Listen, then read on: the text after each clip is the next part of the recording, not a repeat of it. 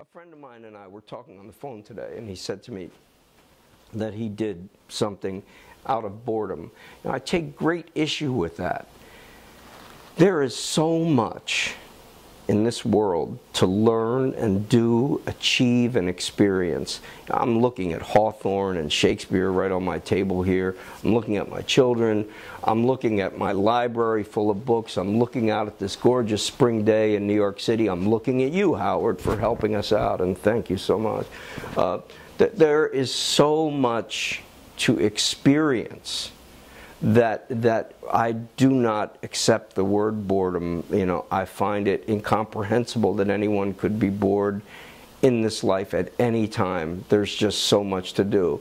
And if you are, that means you're just not pushing yourself. You're settling somewhere, and you'll never experience the feeling of triumph or victory. You'll never, of course, you're going to experience defeat in the process, but you'll just always be one of those lost, hidden souls standing in the shadows, weak and divided about yourself and everything else.